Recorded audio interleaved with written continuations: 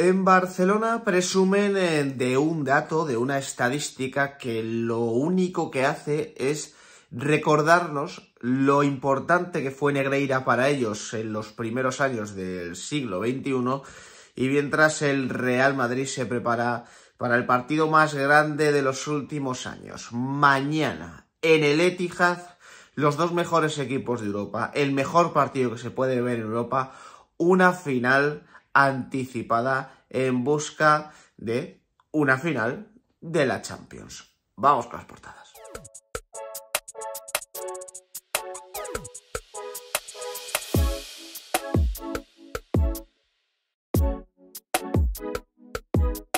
¿Qué tal familia? ¿Cómo estáis? Eh, supongo que ya un poquito nerviosetes, ¿no? Un poquito ya tenéis ese, ese, ese picantote en el cuerpo, ¿no? Ya, ya hoy juega el Inter, eh, se juega el Inter Milan, que es una especie pues, de, de, teloneros para el partido de mañana.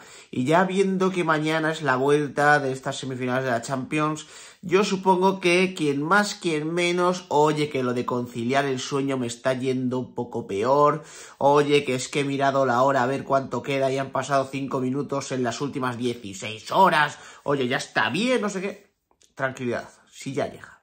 Mañana ya está aquí. Tú ahora ves el vídeo de portadas, dejas un like que es importantísimo, tal. Te suscribes si no lo estás, que también es importante, porque luego, claro, porque tal. Jiji, jaja, no sé qué. Terminas el vídeo de portadas y sin darte cuenta ya es mañana, ¿eh? Ya es mañana. Lo dicho, mañana el Madrid juega contra Manchester City, en la prensa madrileña se habla de ese partido, evidentemente es, pues, la última, o la penúltima prueba del Real Madrid en esta temporada. Si pasamos el examen nos quedará la grandísima final. Si no pasamos el examen, pues habrá acabado la temporada. Evidentemente, se habrá acabado la temporada con un fiasco en Liga, con una buena participación en la Champions y con los títulos en la Copa del Rey, en el Mundial de Clubes y en la Supercopa de Europa. Luego habría que hacer eh, análisis reflexión sobre la temporada, poner las notas correspondientes, etcétera, etcétera. Pero hombre, la verdad es que aunque se alargue un poquito más la temporada, ¿sabes lo que te quiero decir? Aunque tengamos que estar un poquito más aquí en tensión, ¿eh? Con estos nervios, oye, pues si nos metemos a la final, bienvenido sea. Primero vamos a empezar con las portadas de la prensa catalana, luego iremos con las portadas de la prensa madrileña, y para acabar con un artículo de Santino y al Mundo Deportivo, en el que se van a gloria de la estadística que demuestra que Negreira ha sido una persona fundamental en la historia reciente del Fútbol Club Barcelona. Ahora lo vamos a ir viendo todo. Primero, portadas de la prensa catalana. Mundo Deportivo, Barcelona. Miles y miles de culés abarrotan las calles durante tres horas para celebrar las dos ligas, la de fútbol masculino y la de fútbol femenino. Las estrellas blaugranas se dieron un baño de gloria y Xavi fue el héroe más aclamado. La porta optimista. He hablado con Messi para reconducir la situación. Y el diario Sport Euforia culé en una portada en formato sábana. Miles de barcelonistas salieron a la calle para celebrar los títulos de liga. Arriba, el Barça femenino vibró con la rúa azulgrana. Los jugadores vivieron una jornada única y la chavineta a toda marcha por Barcelona. De todo esto, lo que más me llama la atención es el tema de mundo deportivo eh, de la porta hablando de Messi. Del otro día, en plena celebración en Canaletas, la afición coreando el nombre de Messi. Eh, acabáis de ganar una liga y os estáis acordando de Messi. Seguís secuestrados emocionalmente por un jugador que en realidad fue muy grande en la historia del Fútbol Club Barcelona. Eso es así, fue el más grande de vuestra historia. De hecho, es un jugador por encima de vuestra historia, no hay ninguna duda pero que os sangró más de 550 millones de euros, que esa es una de las partes que os ha llevado a tener la sangría económica que tenéis ahora. Yo no me imagino al Real Madrid, si gana este año la Champions, imagínate, ojalá que la gane, el Cibeles, yo que sé, miles de personas gritando Cristiano, Cristiano. Pues no, se, se trata de pasar página. En la vida es importantísimo y es muy sano saber pasar página. Saber pasar página. Tú imagínate que estás ahí, tú, tú imagínate que, dejas una relación con todo en tu corazón, me, voy a, inventar los nombres. Pablo deja su relación con Celia. Pablo deja su relación con Celia. Y meses después, Pablo conoce a Mónica y se enamoran muchísimo, porque el amor es precioso. Bueno, Pablo y Mónica se enamoran. Y Pablo tiene una idea fantástica, que es la de invitar a cenar a Mónica. No a un Burger King, que sería ideal, porque en Burger King es que tiene todo. Le invita a cenar a un buen restaurante, un buen restaurante con un buen vino, un buen restaurante con, buena carne, con buen pescado, tal bien vestiditos, arregladitos, camisita, tal, no sé qué, bien. Y Pablo y Mónica se dan la manita mientras cenan, se miran a los ojitos, porque cuando estás empezando la relación te miras mucho a los ojitos y parece que brillan y esto es todo, es una cosa. Y de repente, en un momento de la cena, Pablo, que le estaba mirando los ojos a Celia, se levanta exaltado y empieza, Celia, Celia, Celia. Pues Mónica no lo entendería. Mónica no lo entendería y el camarero tampoco diría, ¿qué le pasa, caballero? ¡Celia! ¡Celia! Por favor, ¿qué hace usted? ¡Celia! ¡Celia! Y, aparece una Celia que estaba en el restaurante. ¿Qué quieres? Soy Celia. ¡Que no, que no! Eres, ella. Y ya está. Pues el Barcelona es lo mismo. Acaba de ganar una liga, está dando un abrazo, unos besos a la liga y se están acordando de Messi. Si es que no, no, no saben ni ser felices. No saben ni ser felices. Primero porque tienen a Messi por un lado de la cabeza y por el otro lado de la cabeza tienen el partido de mañana del Real Madrid que, que básicamente va a, a, ponerle el broche de oro o no a su temporada. Porque como el Real Madrid pase a la final de la Champions, de la liga esta de Negreira no se acuerda nadie. No se acuerda nadie. Si el Madrid cae contra el City, pues lo mismo van otra vez a canaletas. Y a gritar Messi, Messi, por supuesto que sí. Portadas de la prensa madrileña. Diario As. Entrevista Peja Mijatovic. Ese gol me cambió la vida. Peja Revivenas, la séptima, con la portería del Amsterdam Arena donde marcó el histórico tanto, con motivo del vigésimo quinto aniversario de esa Champions. Ya han pasado 25 años desde la séptima. Yo de verdad no puedo ser más mayor, ¿eh? El Milan se aferra al regreso de Rafael Leao para remontar el 0-2 del Inter de Milán. Recordad que juegan esta noche Laporta dice, he hablado con Messi, los campeones celebran las ligas y piensan en el futuro. El español se expone a un cierre de Cornellá, la invasión de campo puede tener un castigo ejemplar. Y Alcaraz pierde ante Marozán, el 135 del mundo. Zapata, Carballes y Davidovich también caen en un día ciego para el tenis español en el Masters 1000 de Roma. Y en el diario marca el club de las cinco, el último desafío Champions de Nacho, Benzema, Cross, Modric y Carvajal. Los pentacampeones del Madrid buscan asaltar la única plaza que se les resiste, el Etihad. Arriba a la derecha hablé con Messi para reconducir la situación, en palabras de Joan Laporta, y abajo el español se aferra a su estadio, alega un precedente para evitar el cierre. Por último, el Sevilla lidera la liga desde la llegada de Mendilibar y Carlos Alcaraz cae en Roma con la mente en París. Además, el Betis le ganó 3-1 al Rayo en el encuentro que cerraba la jornada de liga. Bueno, a mí lo de Mijatovic ya me parece rizar el rizo. Eh. Anda que no habrá concedido entrevistas este hombre hablando del gol de la séptima, que es que me acordaré toda la vida, saque de esquina, el balón que cae hacia la banda izquierda, de repente aparece Roberto Carlos, le pega un pepinazo que no va hacia ninguna parte, el balón queda suelto, le cae a Mijatovic, todos decíamos ¡Tira, joder!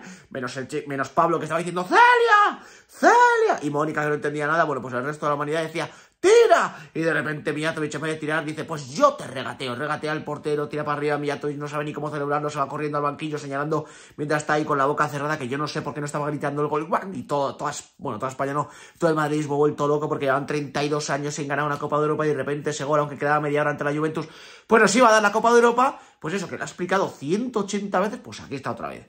Y otra vez que tú revives la, la jugada y que, y que un poquito te emocionas un poquito te emocionas. Lo que no me emociona tanto es que haya, se cumplan ya 25 años, pero ¿cómo que 25 años? Pero si yo me acuerdo perfectamente de estar viendo con mi padre en el sofá. En aquella época teníamos otro salón, como no, el que tenían a mis padres, que es un salón con un sofá rojo que es que llega desde la puerta del salón hasta Segovia. El sofá, me cago en la leche, el, sofá que se compraron. Antes había dos sofás, teníamos dos sofás. Mi padre estaba en la parte de allá y yo en el, que está justo enfrente de la televisión y estuvimos ahí viendo la final. O sea, es que me acuerdo perfectamente, no han pasado 25 años. A mí no me vaciléis, que no han pasado 25 años. Creo que os estáis excediendo con esto. Estáis haciendo mayor a mucha gente que no le corresponde ser tan mayor. Pero bueno, que, que está bien recordarlo. Aunque yo creo que para portada lo mejor íbamos un poco justo. Yo creo que para portada podíamos haber buscado otra cosa mejor. Tampoco es que la de marca sea bollante, pero bueno, la de marca al final sí que está hablando de jugadores que pueden hacer historia en el, en el fútbol. Es decir, jugadores que tienen cinco Copas de Europa y que están a una de igualar al mítico Paco Gento que tiene seis Copas de Europa, que es el más ganador de la historia de la competición. Estaremos hablando de, evidentemente, palabras mayores, futbolistas legendarios, sobre todo Benzema, Cross, eh, Modric y Carvajal, eh, quizá en un peldaño menor Nacho, pero no, no porque no sea un gran futbolista o porque no haya ayudado, sino porque su impacto evidentemente en el Real Madrid ha sido menor que el de los anteriormente citados, pero bueno, eh, esta gente mañana tiene una nueva oportunidad de colarse en una gran final.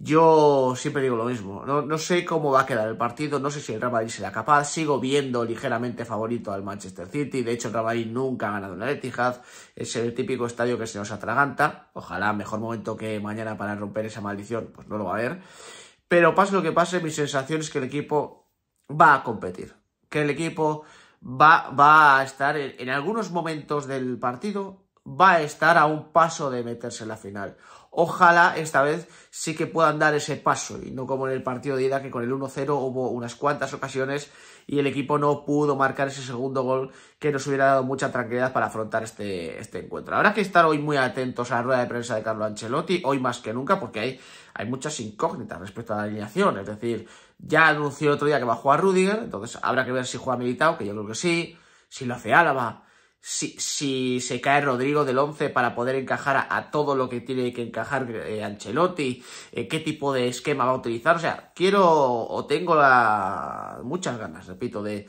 de escuchar a Ancelotti. De hecho, no suelo reaccionar con un vídeo a una rueda de prensa de Carlo Ancelotti, pero esta tarde a última hora habrá un vídeo reaccionando a lo más interesante que haya dicho, porque creo que va a dar pistas, o lo que pueda decir dará pistas de, de cara al 11 de mañana. Bueno, pues, eh, los nervios, como os digo, faltan más de 24 horas, pero ya a flor de piel. Otras semifinales de la Champions, otro partido de vuelta en el que Real Madrid está a 90 minutos, a 90 minutos de jugar una nueva final. Esto te lo dicen precisamente en el año 98, que ibas a estar viendo una década así, y la gente, sobre todo los que llevan más de 30 años y ven a Real Madrid ganar una Copa de Europa, te dirían que estás loco, que estás completamente loco. Atentos a este artículo de Santi Noya Mundo Deportivo. Os traigo solo un párrafo porque luego el resto del artículo la verdad es que no tiene ningún sentido. O sea, no tiene ningún sentido para lo que yo quiero hablar, quiero decir. Dice Santinoya, el Barça ha ganado nueve ligas en los últimos 15 años, un 60%. El Real Madrid 4 y el Atlético de Madrid 2. Si se quiere cerrar el círculo en dos décadas, el Fútbol Club Barcelona ha conquistado 11 ligas en los últimos 20 años, por 6 del Real Madrid, 2 del Atlético y una del Valencia. Lo del femenino es aplastante. En los últimos 12 años ha logrado 8 ligas. La multitudinaria rúa que ayer llevaron a cabo los dos equipos por las calles de Barcelona fue un impresionante éxito, con miles y miles de personas aclamando a héroes y heroínas que certificaron el auténtico dominio del Barcelona en el campeonato de fútbol español. Las ligas las ganan los mejores equipos. Es un torneo a los puntos y el Barça se ha impuesto con números incontestables. Bueno, más allá del mantra este que repiten de la liga la gana los mejores, que es mentira, que es mentira y os podéis poner como queráis y, podéis dar las vueltas que queráis y tal. O sea, repito que el Barça estaba estructurado y que el Barça quiere seguir dando saltos para ganar algún día la Champions, que es en la competición que quieren los equipos. Y es así que la gana el mejor normalmente. Es verdad que hay alguna ocasión, hay alguna edición que haya llegado la sorpresa de turno y no la ha ganado el mejor equipo de Europa. Pero lo normal es que sí. La liga la gana a los mejores es el típico argumento que utilizan todos aquellos que luego se la pegan en Europa. Es decir, como me la pego en Europa, voy a decir que yo gano la competición que gana el mejor equipo. Es mentira. Os podéis, podéis seguir diciendo a vosotros mismos todo eso, ¿eh? Para daros confianza, para, para veniros arriba, pero que es mentira. Lo que yo quería comentar es la primera parte que os he sombreado, la de el Barça ha ganado 195.000 ligas en los primeros 20 años. Es decir, en el siglo XXI el Barça ha ganado 177.000 ligas. Vamos a ver. ¿No te parece, querido Santinoya, que eso tiene cierta conexión, ¿cómo te diría yo? Con un escándalo que estalló en el fútbol español hace unos años. Es decir, fíjate, fíjate qué tontería te voy a decir, ¿eh, Santinoya? Menos mal que el director del mundo deportivo eres tú, que no lo soy yo, ¿eh? Fíjate tú qué tontería. Atención, atento, Santi, atento, mira, una cosa. En 2001, en 2001, empezó un escándalo histórico del fútbol español que se trataba de un club No te voy a decir cuál, ¿eh? Te lo mantengo en secreto. Un club pagándole millones de euros a un árbitro. A un árbitro. Dicha relación se mantuvo durante 17 años, hasta 2018. Hasta 2018. Durante un tiempo fue vicepresidente de los árbitros y durante ese tiempo cobró un gran dinero de un club español. Bueno, pues ese club español, que no te voy a decir el nombre, se estaba vanagloriando ahora, ahora mismo, de que durante esos años en los que se le pagaba un dinero a un árbitro, ganó muchas ligas. Yo creo, ¿eh? Yo creo que deberíamos tener un poquito de cuidado. Porque, precisamente, desde 2018, que acabó la relación de ese club con Negreira, hasta 2022, el, el club, y casi se me escapa, el club, lo de las ligas lo llevó un poco mal. Eso sí, de 2001 a 2018 era una especie de martillo pilón ese club en liga. Por lo que sea. Por lo que sea. Y lo que me sorprende de todo esto es que mientras eso sucedía, mientras en España era el mejor equipo de todos, en Europa, según se apagó su generación de oro, fue cayendo poco a poco, poco a poco, poco a poco, poco a poco, poco a poco, y empezó a firmar un ridículo, otro, otro, le encajaba goleada en un sitio, en otro, incluso en su estadio encajaba goleadas, le metieron ocho, le metieron cuatro, le metieron cinco, le metieron unas barbaridades de goleadas, pero en España, en España, oye, pues sí que seguía ganando. En esa especie de anomalía estadística que nunca nadie entendió, pero que ahora entendemos mucho mejor desde que se destapó el escándalo, pues claro, pues decías tú, joder, ¿cómo es posible que este equipo en Europa haga el ridículo que está haciendo, pero luego en España se permita ganar tantos títulos, tal? Pues aquí lo tenéis. Y de hecho Santi no ya lo ha explicado mejor que nadie sin explicar absolutamente nada. El director de Mundo Deportivo, sin pretenderlo, ha explicado mejor que nadie la importancia, ahora vamos a decir nombres y clubes, claro que sí, la importancia de Enrique Negrera para el Fútbol Club Barcelona. Mis más sinceros respetos a Santino, ya de verdad, mis respetos. Un tío con un par que coge en un periódico como director y dice, oye, miren, durante los años en los que el Barcelona le ha pagado millones de euros al segundo de los árbitros, el Barcelona ganó muchas ligas. Ole. Ole y ole. Yo no lo podría haber dicho mejor. Yo no lo podría haber dicho mejor. La verdad es que luego, luego diréis que es que la prensa de Madrid o, o los youtubers de Madrid o el Real Madrid tal, que os está haciendo una campaña. Si os la hacéis solos. Os la hacéis solos un tío de los vuestros, el director de uno de los periódicos de la, tirada culé, del entorno culé, reconociendo que al Barça, durante los años en los que se pagaba legal, le ha ido muy bien en las ligas. Pues es que yo no tengo nada más que añadir. Coger mis cosas e irme. Gracias por acompañarme. Nos vemos en el siguiente.